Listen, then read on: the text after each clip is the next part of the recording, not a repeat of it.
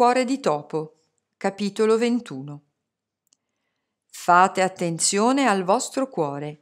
Una volta rotto, è difficile trovare i pezzi di ricambio.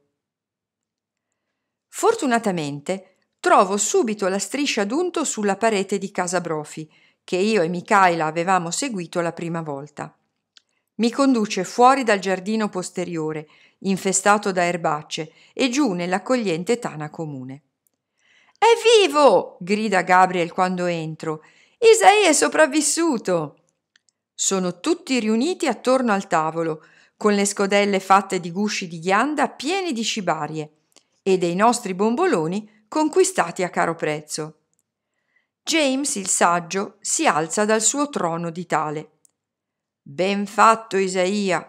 Gabriel e Gilbert ci hanno detto del coraggio con il quale hai affrontato l'infido gatto Sphinx, Lucifero, di come hai protetto i tuoi confratelli e ci hai fornito il pasto di questa sera, uno dei migliori che i miei stanchi occhi di vecchio topo abbiano mai visto. Da oggi in poi i topi canteranno del tuo trionfo contro il distruttore dai perfidi occhi.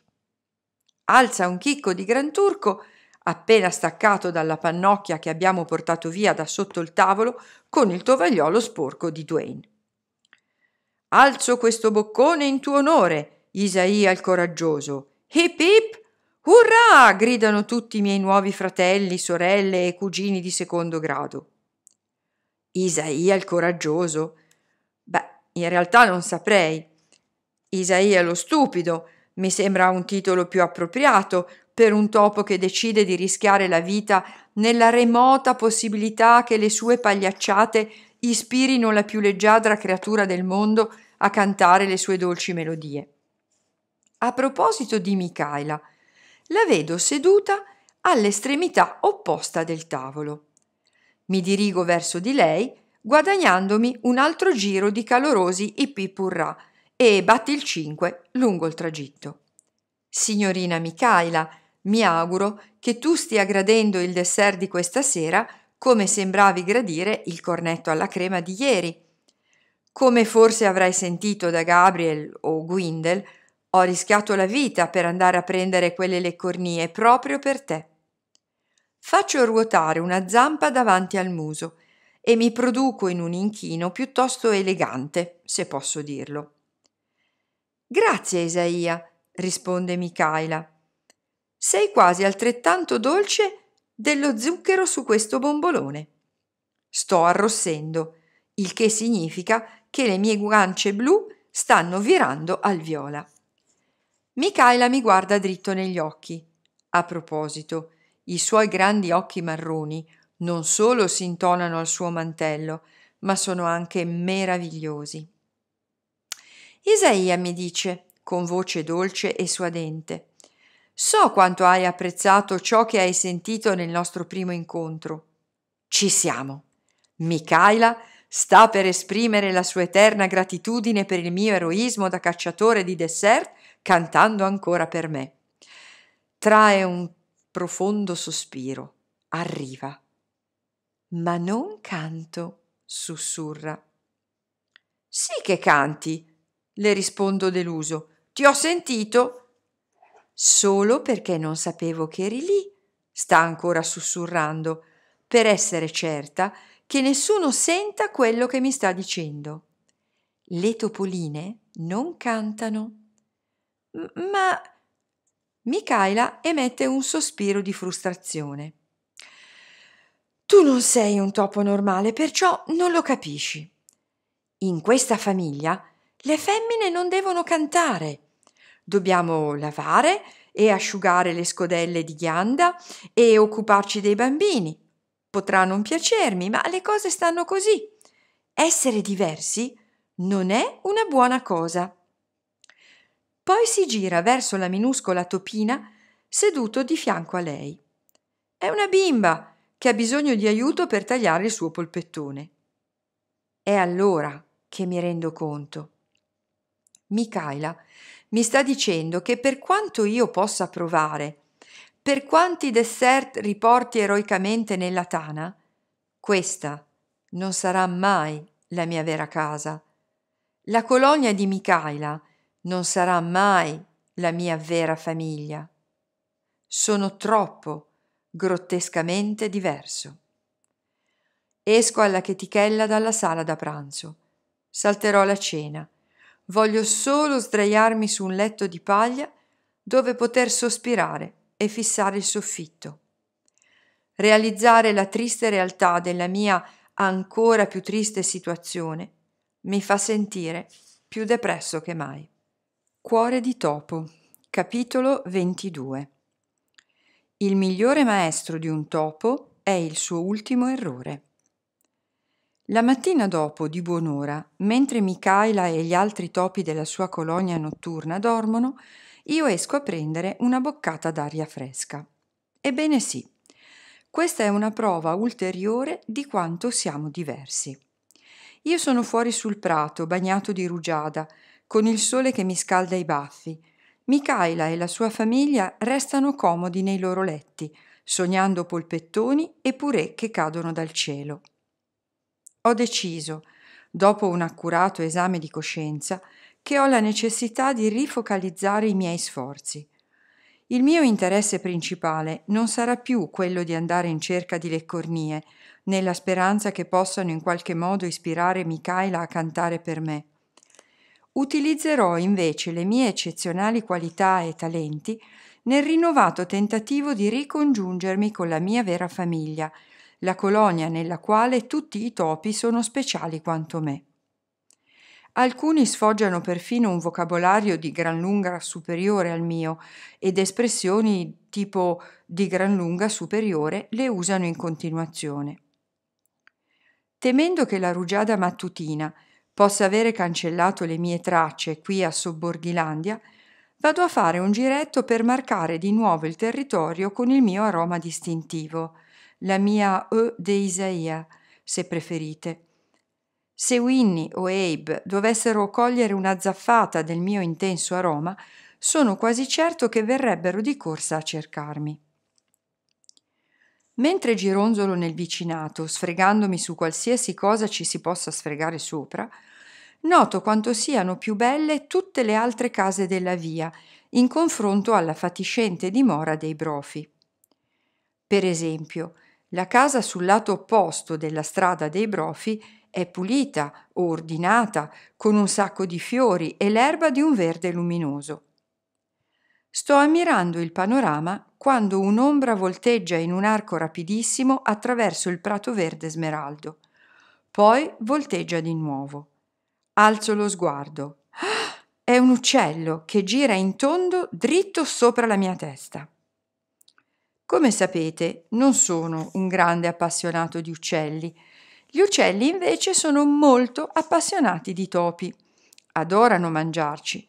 Questo particolare uccello, indubbiamente affamato, mi ha messo nel mirino. Ho la sensazione che a breve scenderà in picchiata per uccidermi. Ma poi si sente un rumore, un clangore metallico e un colpo sordo. Spaventato, l'uccello batte le ali e vola via. Guardo il portico davanti alla casa una ragazzina in vestaglia ha appena spalancato una pesante porta di legno con tale violenza da far sbattere sulla parete il battente d'ottone. La ragazza raccoglie un giornale avvolto in un foglio di plastica azzurro e torna dentro. Temendo che l'uccello affamato possa ricomparire, da un momento all'altro, corro verso il retro della casa, dove le cime degli alberi sono più frondose comunque abbastanza folte da impedire a un uccello di cogliere i miei movimenti. Beh, indovinate un po'? Anche questa casa ha uno sportello per animali. Nel corso del mio breve soggiorno a Sobborghilandia ho notato che gli umani, in modo molto simile ai topi, tendono a fare le cose in gruppo. Guidano lo stesso tipo di automobili, installano sportelli per animali, addobbano i loro giardini con gli stessi tipi di fiori, arbusti e decorazioni da prato.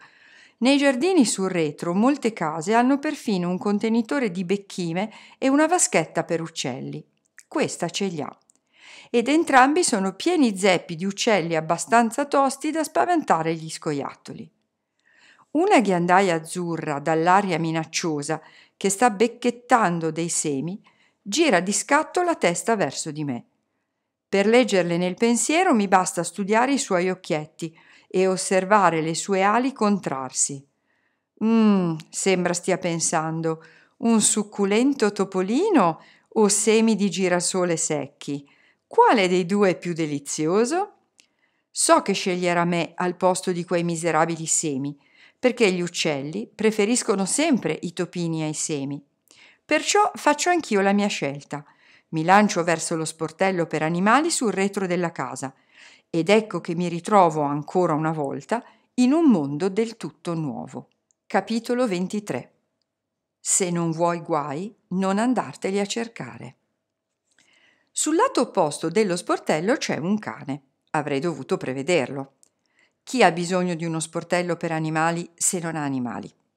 Questa volta si tratta di un cane molto piccolo, con un fiocco rosa e un collare rosa.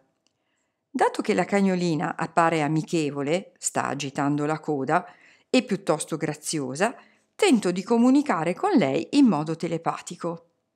Ciao simpatica cagnolina, il mio nome è Isaia. La cagnolina raddrizza la testa, come se capisse quello che sto pensando. Perciò continuo. Vengo in pace e spero che in breve tu e io potremo diventare amici, anche perché abbiamo un nemico comune, i gatti, specialmente nella variante pelata. Potrei cortesemente entrare nella vostra cucina, dato che sto cercando di fare colazione? Eh, bada bene, intendo solo per me. Le mie giornate da ladro per conto di altri sono ufficialmente finite. Inoltre vorrei aggiungere che hai davvero buon gusto nella scelta degli accessori. Quel fiocco rosa ti sta benissimo. La cagnolina ansima, scuote la coda e grida molto forte. Come forse ricorderete, le mie orecchie sono piuttosto sensibili, in particolare agli hip e agli yap. Hip hip hip! Forse la cagnolina sta solo cercando di salutarmi nel suo linguaggio canino alquanto primitivo. Perciò ricambio il saluto. Hip! grido. Hips! guaisce la cagnolina. Oh, santo cielo, credo di averla spaventata zampetta frettolosamente via con la coda tra le gambe. Affascinante. Ho appena spaventato una creatura molto più grossa di me. Inizio a capire perché Benji e parecchi altri membri della mia vera famiglia continuavano a incoraggiarmi a essere più audace. Essere coraggioso ha i suoi vantaggi. Per esempio, ora che il cane da guardia ha abbandonato la sua postazione, noto che i lindi e ordinati banconi di questa cucina ospitano un'abbondanza di delicatezze. Vedo della frutta in una ciotola, pane su un tagliere e a giudicare dal profumo di cannella dolce qualcosa di delizioso in una scatola di cartone. Opto per la frutta, scelta più sana e nutriente, o mi lancio sulla misteriosa leccornia nella scatola, la decisione più facile di sempre. Mi arrampico sullo schienale di una sedia dondolo e da lì salto su una scrivania con computer che uso come trampolino per saltare sul bancone dove giace la scatola blu dal dolce profumo. La scatola ha una finestrella di plastica, oltre la quale vedo un paesaggio frastagliato fatto di grumi di zucchero di canna. Leggo le parole stampate attorno alla finestra di plastica. Entenman, la regina delle torte di briciole. Beh, accidenti, questa non è una comune torta di briciole, questa è la regina, il punto più alto nella creazione delle torte di briciole, il picco assoluto della torta di briciolismo. Devo provarla immediatamente. È facile tagliare la sottile finestra di plastica con un rapido colpetto di artigli. In men che non si dica, sono dentro alla scatola, a rotolarmi tra i grumi di burroso zucchero di canna profumato di cannella. Affondo la testa nella torta. È deliziosa. Regale, oserei dire. Riemergo a prendere aria, pronto a rituffarmi nell'umida morbidezza della torta. È in questo momento che la ragazza entra in cucina. La ricordate? Quella in vestaglia sul portico? Ha in mano un giornale arrotolato. E ora noto qualcos'altro. Non per essere scortese, ma ha un aspetto un po' bizzarro. Anche se sembra un adolescente, i suoi capelli sono bianchi come il ghiaccio. Perfino le sue ciglia. E i suoi occhi? Diamine, sono più blu del mio mantello. Inoltre, mi sembra malata. Ha un termometro che gli pende dalla bocca, il che significa che forse ha la febbre. Oh, spero non sia contagiosa. Gli umani si preoccupano molto di noi topi e delle malattie che a loro parere trasmettiamo, confondendoci un'altra volta con i ratti. Ma diciamolo francamente, gli umani trasmettono molte più malattie dei topi. Oh no, mi ha appena visto. La sua bocca si spalanca. Male per il termometro, le cade dalle labbra e si fracassa per terra. Devo ricordarmi di stare attento alle schegge di vetro, mentre lei mi insegue per tutta la cucina. E poi, naturalmente, fa una cosa che, in quanto topo, sono fin troppo abituato a vedere e a sentire. Grida. Cuore di topo. Capitolo 24. Mai ballare sul naso di un gatto che dorme.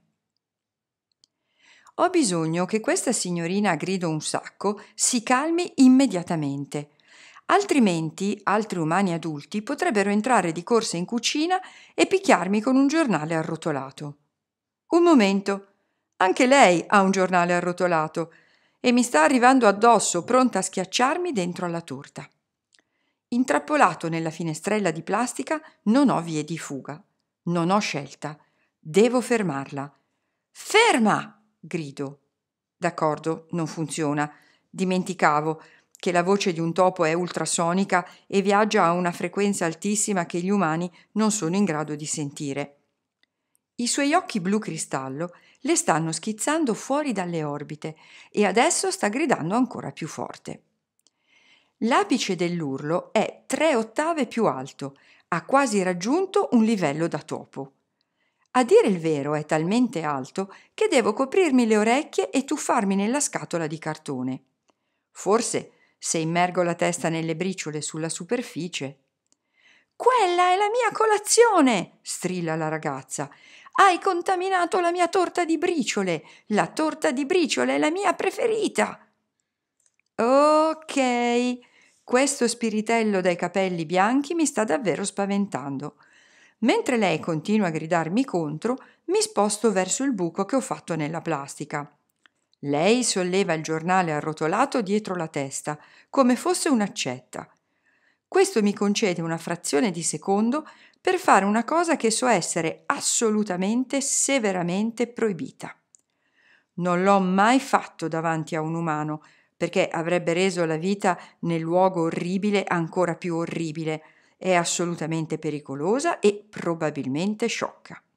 Ma la ragazza sta prendendo la mira, devo farlo adesso. Schizzo fuori dalla scatola, attraverso come un razzo il bancone, salto sulla scrivania e mi metto a ballare.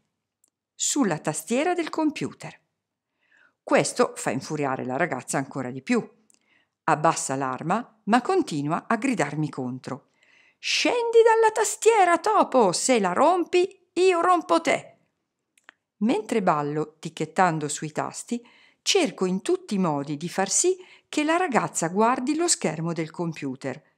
Agito le zampe, drizzo la testa, indico con la coda. Probabilmente lei pensa che faccia parte della coreografia. Guarda! squittisco disperatamente. Lei si limita a socchiudere gli occhi e a sollevare di nuovo il giornale arrotolato. Ti ho avvertito, topo. Per favore! grido, ma naturalmente la ragazza non mi può sentire. Ho bisogno che guardi lo schermo del computer prima che mi prenda ammazzate per tutta la cucina come fossi una pelosa pallina da golf blu. Danzo più in fretta, agito furiosamente le zampe, la testa e la coda verso lo schermo. Lei mi sta arrivando addosso in fretta, solleva il giornale arrotolato ben sopra la testa. Chiudo gli occhi, so cosa sta per arrivare. Mi tengo forte e poi Cuore di topo. Capitolo 25. A volte le parole valgono più di mille parole. Sollevo lentamente una palpebra. Terrorizzato, ma con gli occhi socchiusi vedo che la ragazza ha ancora il giornale sollevato sopra la spalla destra, ma ha gli occhi fissi sullo schermo del computer.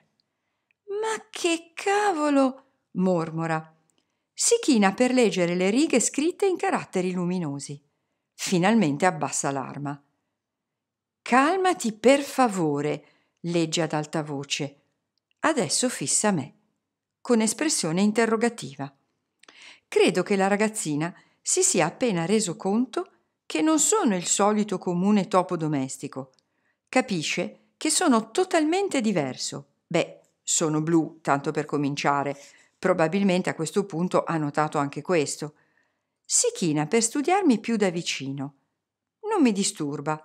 Il suo sguardo curioso mi piace molto di più della luce omicida che aveva negli occhi qualche secondo fa.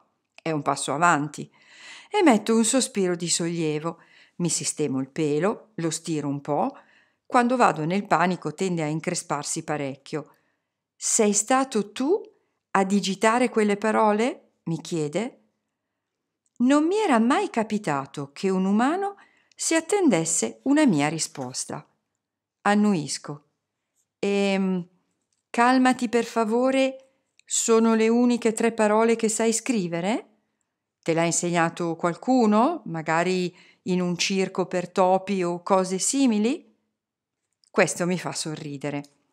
Mi esibisco in un altro rapido tit-tap da otto lettere. Quasi. Quasi cosa?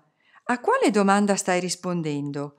Quella sul circo per topi o quella su quante parole conosci? Ah ah, ottima osservazione. Perciò per rispondere, mi esibisco sui tasti come fossi il re dei topi nel balletto schiaccianoci che vidi una volta in tv nel luogo orribile. Ecco cosa digito. Scusami, non intendevo confonderti con la mia risposta apparentemente vaga alla tua domanda. No, non sono mai stato in un circo per topi e sì, dispongo di un vocabolario molto ricco, oserei dire voluminoso. Nell'occasione, tuttavia, ho ritenuto che concisione e chiarezza fossero di importanza capitale. Calmati per favore, a mio modesto parere, comunicavano il mio pressante desiderio con molta efficacia e urgenza. Non sei d'accordo? La ragazza scuote la testa e ride. Assolutamente, conviene. Adesso rido anch'io, di puro sollievo. Digito rapido un'idea che mi è venuta. Che ne dici di rompere il ghiaccio? Ottima idea, rompiamo il ghiaccio. Io sono Eili, tu come ti chiami? Glielo digito. Isaia. Cuore di topo, capitolo 26. Diventa amico di brave persone e aumenterai il loro numero. Eili è davvero simpatica, soprattutto quando non sta per schiacciarmi con un giornale arrotolato. Come fai? mi chiede. Come digiti tutte quelle parole? Le scrivo la risposta. Piuttosto bene, tu che dici? Ride. Sì, sei davvero sorprendente, specialmente per un topo. Grazie, Eili. In realtà parecchi topi sono sorprendenti, ma è raro che ci venga offerta l'opportunità di dimostrare i nostri singolari talenti davanti agli umani. Tra l'altro, mi scuso se non metto in maiuscolo le parole che andrebbero messe in maiuscolo, come quel e lì poco sopra, e se non sempre utilizzo la corretta punteggiatura. Per me è difficile mettere una zampa sul tasto maiuscola e l'altro sulla lettera che vorrei digitare soprattutto quando sto digitando una Y o una H o altre lettere che sono al centro della tastiera. Dovrei fare una spaccata e strapparmi i pantaloni se li indossassi, ma non li indosso perché, come avrai notato, sono un topo. Sei anche blu, osserva Eli. E, cos'è quella targhetta che hai sull'orecchio? Non ho proprio voglia di rivangare il passato e le cose che hanno fatto a me e alla mia famiglia nel luogo orribile. Perciò mi limito a fare spallucce e a digitare saltellando. Non lo so, è che sono sempre stato blu e ho questa targhetta da quando sono nato. Comunque, tornando alle maiuscole, so che potrei saltare sul tasto di blocco maiuscole, ma allora sembrerebbe che ti stia gridando dietro. Altra risata. Sono felice di non essere andata a scuola oggi. Sei di gran lunga più interessante di una lezione di educazione civica o persino di matematica. Ti piace la matematica? Scrivo. Stavolta è Hailey a fare spallucce. Quest'anno a scuola non c'è nulla che mi piaccia molto. Ci siamo appena trasferiti in questo quartiere. Sono quella nuova, capisci? Perciò non ho molti amici. Anzi, non ne ho nessuno.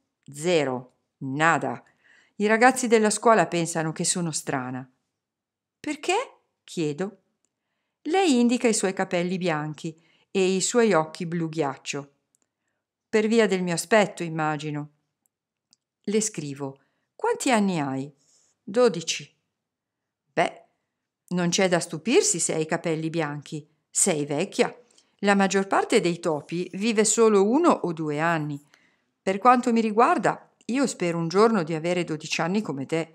Allora il mio pelo diventerà bianco come i tuoi capelli e non sarò tanto diverso da tutti gli altri topi. Al mondo ci sono parecchi topi bianchi, non solo nella mia famiglia.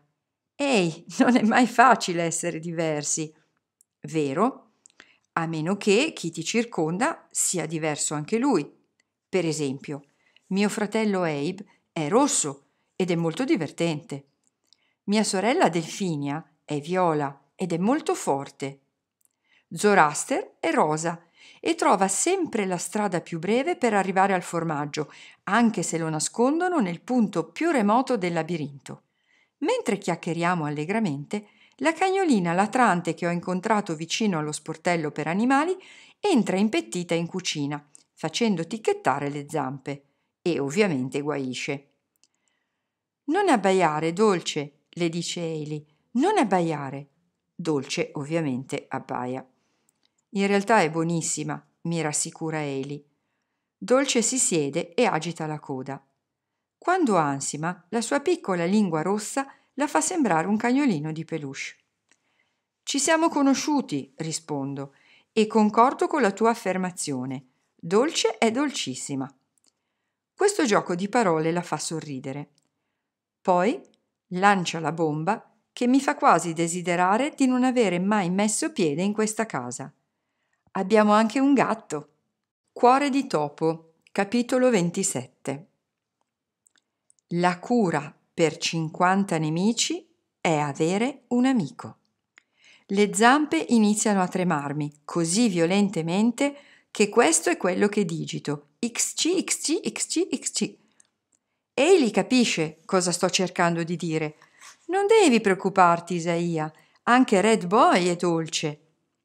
Un gatto dal pelo rosso, quasi quanto quello di Abe, entra furtivo in cucina trova un angolo illuminato dal sole, stiracchia il corpo affusolato come fosse una caramella mu, infine si accascia sul pavimento a sonnecchiare al tepore della macchia di luce. Nel frattempo io rimango congelato dalla paura. Mm, ti andrebbe un po' di gelato alla stracciatella? chiede Hailey. Riesco a stringermi nelle spalle con un movimento appena accennato non ho idea di che cosa stia parlando. Aspetta qui. Non preoccuparti, vorrei digitare, tenendo sempre lo sguardo fisso su Red Boy. Non muoverò un muscolo. Ma per digitare quel messaggio dovrei utilizzare un sacco di muscoli e come ho già ricordato, i gatti adorano le cose che si muovono, in particolare i topi. Perciò resto immobile e appollaiato sulla lettera C. Hailey va al frigo e ritorna con una paletta piena di un ammasso fondente di crema tempestata di scaglie di cioccolato. Inizio a leccarlo nel momento stesso in cui me la mette davanti al naso. È freddissimo, ma spettacolare. Red Boy dorme per tutto il tempo, anche quando Dolce riprende a uggiolare. Credo che anche la cagnolina voglia un po' di gelato. Il cioccolato non fa bene ai cani, mi spiega Hailey, non so ai topi. Io le mostro il pollice sollevato, mentre lecco il fondo della paletta. Nel luogo orribile, tutti i topi potevano mangiare praticamente di tutto, anche se non ci davano altro che crocchette e acqua zuccherata. Egli trova un biscotto per cani da dare a Dolce e lo uso come pretesto per andarmene. Devo tornare a casa, digito nel modo più silenzioso possibile, cercando di non svegliare il gatto che dorme, come si usa dire. Spero tornerai a trovarci, mi dice Hailey. Mi porge la mano. Amici? Io annuisco e stringo il suo dito roseo. Possiamo essere amici, per il momento almeno. Vedete, ho qualche problema a fidarmi del tutto degli umani, anche di quelli che sembrano simpatici come Hailey. Credetemi, ho le mie ragioni, un sacco di ragioni. Cuore di topo, capitolo 28. Meglio un volatile tra le zampe che un roditore tra le zanne. Non è per lamentarmi, ma la vita qui a Sobborghilandia sta velocemente diventando parecchio irritante. Sto provando a tornare dalla casa della mia nuova amica Hailey alla fatiscente dimora dei Brofi, quando sul prato davanti a me vedo qualcosa che mi fa tremare di paura. L'ombra di un'apertura alare. Un altro uccello è dritto sopra la mia testa, intento a valutare se avermi per cena. È una poiana coda rossa, per essere precisi. La riconosco dalle frange a forma di dita ai margini del contorno. Noi topi siamo abilissimi a memorizzare i contorni delle ombre degli uccelli e una poiana coda rossa è l'uccello che temiamo di più di chiunque altro. Mangia ratti, scoiattoli, conigli, persino altri uccelli. Noi topi siamo solo degli stuzzichini. Corro più in fretta. L'ombra della poiana si fa più grande, solo che adesso ha portato le ali più vicine al corpo, perché, oh no, sta scendendo impicchiata su di me, dritto su di me. In questo momento dovrei essere pietrificato dal terrore, ma sfortunatamente non ne ho il tempo. Dio dei topi, aiutami. È vicina, sempre più vicina. Con una morsa dolorosa, la poiana mi afferra con il becco. Addio, meraviglioso mondo. Mi sarebbe davvero piaciuto rivedere la mia famiglia un'ultima volta. Forse, se sono molto fortunato, nel paradiso dei topi gli angeli canteranno con la stessa soavità di Micaela e non ci saranno più gatti assassini o cani uggiolanti e nemmeno poiane. Mentre attendo il morso del becco, lo scrocchio e il masticare che significheranno la fine della mia vita, avverto una strana sensazione di assenza di peso. Sento anche l'erba svanire da sotto le mie zampe la poiana non mi sta trangugiando in due rapidi bocconi perché, sorpresa, mi sta portando verso il cielo. Apro a fatica un occhio terrorizzato. Sto volando. Volare è magnifico, è una cosa che prima d'ora ho fatto soltanto in sogno, ma dal momento che si tratta di sogni miei, ad accompagnarmi nel volo non c'era un uccello predatore, come accade invece in questo incubo. Tutto a un tratto voliamo sempre più in alto, sempre più velocemente. Oh no, i miei baffi sbattono al vento. Il mio mantello blu si sta arruffando freneticamente. Per una volta sono lieto che la poiana mi giudichi tanto appetitoso da non lasciarmi cadere, perché la terra è ormai bella distante. Poi la poiana inclina le ali. Ora stiamo precipitando ancor più rapidamente di quanto siamo saliti. Giù, giù, giù, stiamo scendendo in picchiata tra i rami di una quercia piena di foglie. Le foglie ci sbatacchiano addosso, mentre ci tuffiamo nella loro oscurità verdastra. E infine la poiana apre il becco. Cado come un sasso senza paracadute. Per un attimo mi chiedo se la poiana stia giocando con me come faceva quel malvagio gatto Lucifero, facendomi cadere per poi riprendermi come fossi un giocattolo. Ma no, la poiana si sta allontanando, lasciandomi precipitare per conto mio. La discesa si fa estremamente rapida. Adesso sono io che scendo a bomba, dritto verso l'angolo bitorzoluto di un ramo. E conoscendo le leggi della fisica, so che l'andare a colpire quel solido ramo manderà in frantumi ogni singolo osso del mio minuscolo corpo di topo. Cuore di topo, capitolo 29. Se non è zuppa, è la mamma del pan bagnato. È un miracolo. Non muoio. Il mio corpo non si va a fracassare contro il ramo duro come la roccia. Faccio un atterraggio morbido. Invece di colpire le frasche bitorzolute dell'albero, atterro in un cestino ben intrecciato di ramoscelli, paglia e roba soffice. Ben fatto, vorrei dire alla poiana, stordito per il sollievo e la felicità. Un tiro perfetto. Gol! Ma poi sento un coro frenetico di cinguettii. Oh oh, mi giro. Sono circondato da uccellini lanuginosi con le bocche spalancate. Da così vicino somigliano a dinosauri affamati fatti di neve. Mi rendo conto con notevole ritardo del perché la poiana predatrice mi ha lasciato cadere qui. Sono nel suo nido e costituisco la cena dei suoi pelosi, affamati piccoli dai grandi occhi. Molto materno da parte della poiana andare a procurare la cena per i suoi piccoli. Il suo istinto di occuparsi dei neonati è davvero commovente a meno che naturalmente la cena non sia io. In effetti, uno di questi graziosi piccoli di Poiana si scaglia contro di me. Si sta risvegliando anche il suo distinto. Cucciolo vede topo, cucciolo mangia topo. Schivo il suo becco. Lui finisce per mordere l'aria e io scappo verso il bordo del nido. Adesso due degli altri pulcini si trascinano verso di me agitando il becco. Grido una delle prime parole umane che ho imparato a usare. Basta! Ops, credo di averli spaventati. Tutti i pulcini iniziano a pigolare e piangere. Mi devo coprire le orecchie. I loro strilli e squittii sono più laceranti di qualsiasi cosa abbia mai ascoltato in un asilo per topi, compreso il momento appena prima del riposino. Mentre gli uccellini sono occupati a strillare contro il topo cattivo e urlatore che la mamma ha lasciato cadere nel loro box, io colgo l'attimo propizio, salto fuori dal nido e affondo gli artigli nella corteccia di un ramo lì vicino. La corteccia di quercia è ottima per svignarsela, offre un'ottima aderenza.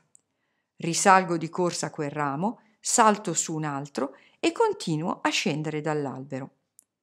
Muovendomi rapidamente, a quanto pare corro sempre più in fretta quando lo faccio per salvarmi la pelle, raggiungo il suolo in venti rapidissimi battiti di cuore. Riesco a vedere la casa dei brofi. È talmente conciata da risultare inconfondibile. Nel vialetto è parcheggiato un pick-up. Sul cassone ha una specie di tettuccio simile a un guscio di tartaruga. Credo che questo significhi che il signor Brofi è a casa e che tra poco la famiglia ricomincerà a lasciar cadere quantità industriali di ottimo cibo sotto il tavolo. Mi affretto ad attraversare la strada. Vi ho già detto di quanto irritante stia diventando la vita a Sobborghilandia? Perché indovinate un po' chi sta attraversando velocemente la carreggiata insieme a me? Esatto, la stessa ombra alata. Mamma Poiana mi sta di nuovo inseguendo. Niente repliche, vorrei gridare, ma non lo faccio. Sono troppo occupato a svignarmela. Fortunatamente i brofi non sono molto solerti nel tagliare il loro prato. I fili d'erba ondeggiano quasi all'altezza del portico. È come se avessero un campo di grano privato. Malgrado la sua vista eccellente, la poiana coda rossa che volteggia sul prato perde le mie tracce quando inizio a strisciare sulla pancia. C'è anche una gradevole brezza che fa ondeggiare le erbacce come onde sull'oceano. Così i miei movimenti non tradiscono la mia posizione. Mamma Poiana abbandona la caccia. La scorgo alzarsi in volo in cerca di una nuova preda. Forse riuscirò a vedere la luce di un nuovo giorno. O forse anche no. Quando sei un topo, le tue probabilità di sopravvivenza giornaliere sono sempre un po' aleatorie. Cuore di topo, capitolo 30. Gli sciocchi si precipitano dove i topi temono di camminare. Mi infilo nella tana giusto in tempo per la serale caccia al cibo. Sono pronto ad affrontare di nuovo il pericolo? Assolutamente no. Sono pronto ad affrontare di nuovo Lucifero? Decisamente no. Ma quando Gabriel chiede chi è disponibile per una caccia al cibo, alzo la zampa e mi offro volontario. Forse perché vedo un nuovo membro nel gruppo di cacciatori di questa sera. Micaela. Per quanto ci sia rimasto male quando mi ha spiegato la mia diversità, non posso fare a meno di ammirarla. Ha un'aria magnificamente fiera con quella spada di plastica verde. Ne ho viste alcune simili nel luogo orribile, quando i lunghi camici diedero la loro festa di Natale lo scorso inverno. Quelle spade di plastica colorate infilzavano trionfanti dei cubetti di formaggio arancione.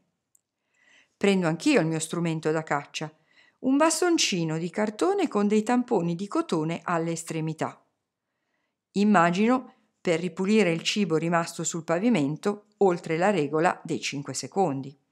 Sono sorpreso e felicissimo di vederti nel gruppo di cacciatori, dico a Micaela mentre ci dirigiamo verso l'armadietto sotto il lavandino. In questa famiglia, mi spiega, ci avvicendiamo nelle mansioni. Tutti svolgiamo a turno i diversi compiti. Ah ah, rispondo, agitando i baffi come farebbe mio fratello Rodolfo. Pensavo mi avessi detto che le ragazze lavano solo i piatti.